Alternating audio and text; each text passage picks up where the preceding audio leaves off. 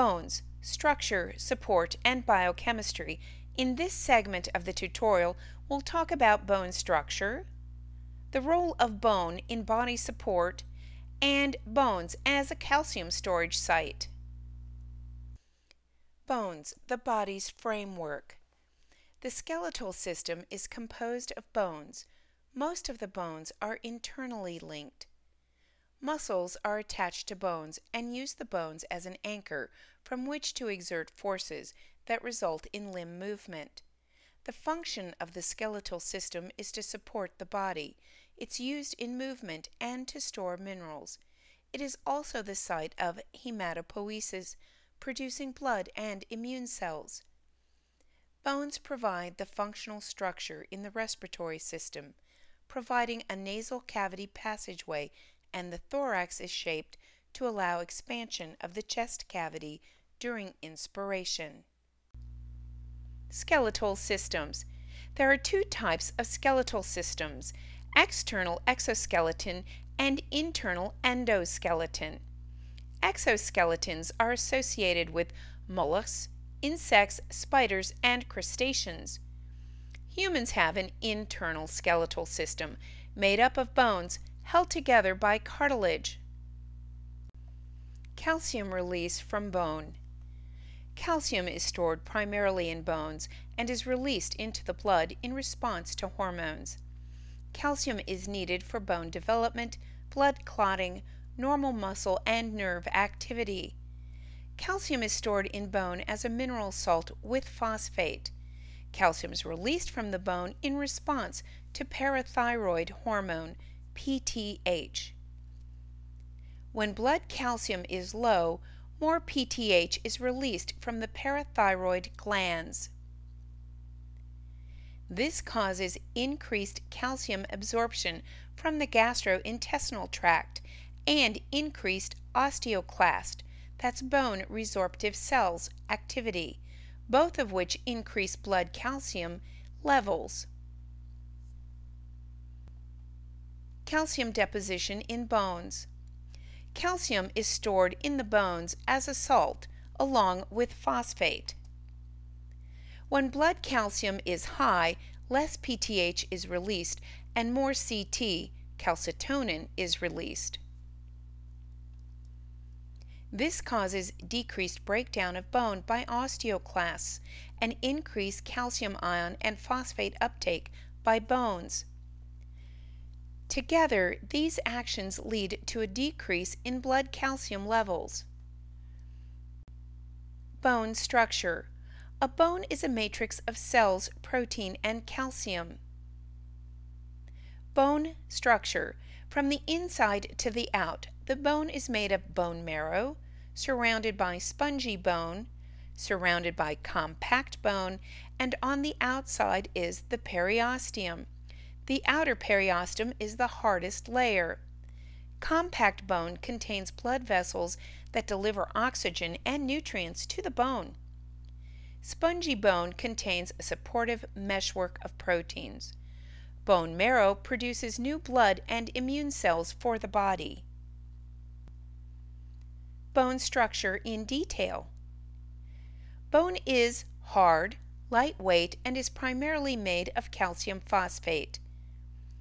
Epiphysis is the end of a long bone and is separated from the diaphysis by a growth plate called the epiphyseal plate. Diaphysis is the main or mid-section shaft of a long bone. Bone marrow is the soft section inside of bone and makes red blood cells. Bones can be spongy, having an open meshwork and bone marrow, or compact, that is dense, forming the surface of bones, making up about 80% of its mass. Bone matrix. Osteons make up the bone matrix, long, narrow cylinders. Osteons consist of the Haversian and Volkmann canals. Inside the osteon are lacunae. Inside the lacunae is the osteocyte, bone-forming cell. Osteocytes communicate with each other through passages called caniculi. Haversian canals surround blood vessels and nerves inside the bone. Volkmann's canals connect the individual osteons and the periosteum. The periosteum provides the blood supply and houses the osteoclasts for bone resorption. Bone remodeling. Osteoclast is a kind of bone cell that removes bone tissue in a process known as resorption. Osteoblasts control the amount of bone resorbed. Osteoblasts form bones. Osteoclasts have multiple nuclei. Osteoclast resorb bone.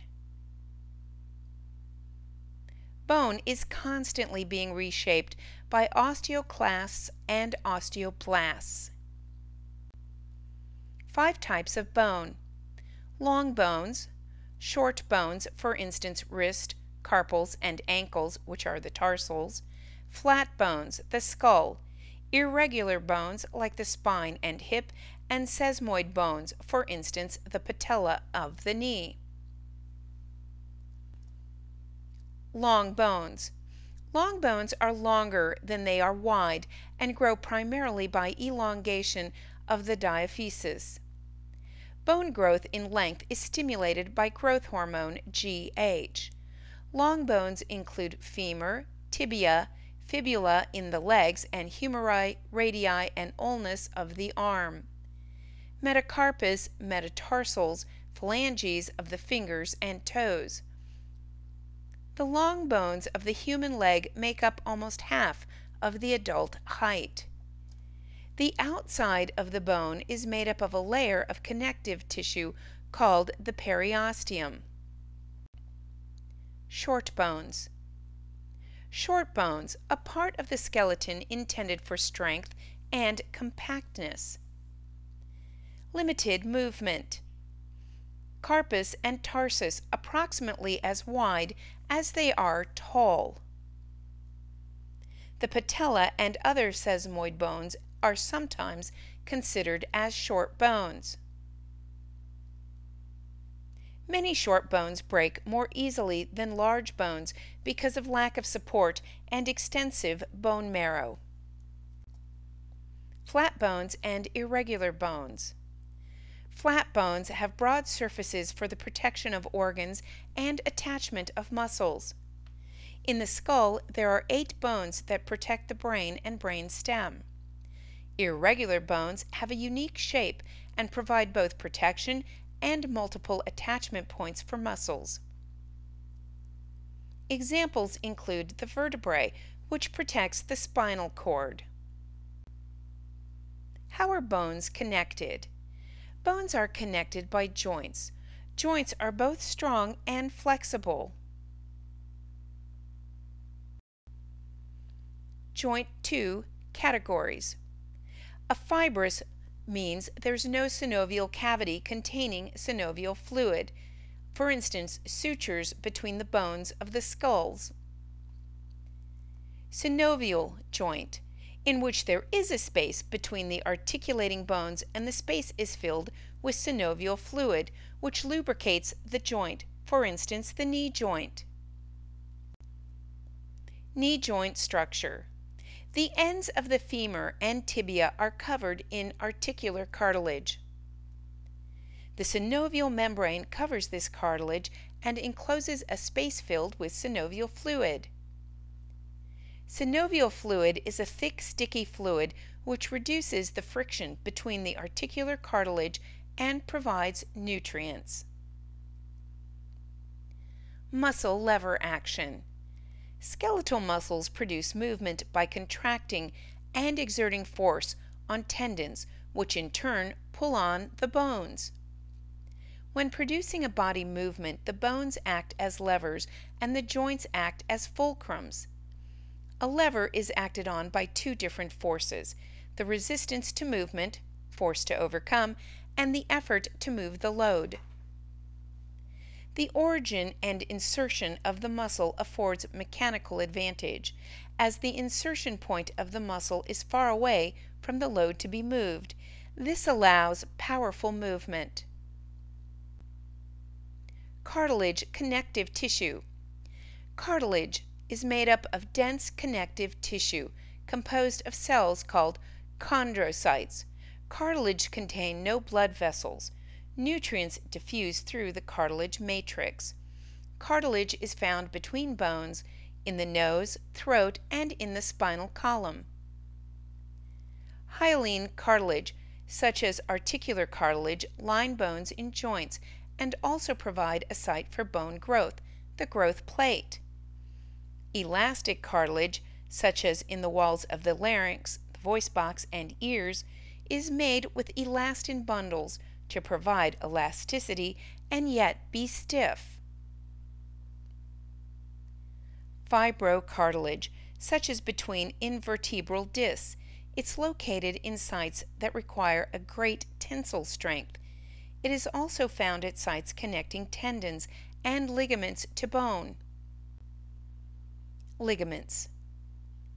Ligaments are short bands of tough fibrous tissue composed mainly of collagen fibers. Ligaments connect bones to other bones to form a joint, for instance iliofemoral ligament of the hip joint. Ligaments are sometimes called articular ligaments, fibrous ligaments, or true ligaments. Articular ligaments include knee, head, neck, pelvis, thorax, and wrist. Tendons. Tendons are a tough band of fibrous tissue that connect muscle to bone or muscle to muscle, for instance, Achilles tendon. Tendons are designed to withstand tension and stretch. The origin of a tendon is where it joins to a muscle and collagen fibers from the muscle itself extend directly into the tendon. Achilles tendon attaches the gastrocnemius calf muscle and soleus muscle to the heel bone. It is the thickest and strongest tendon in the body.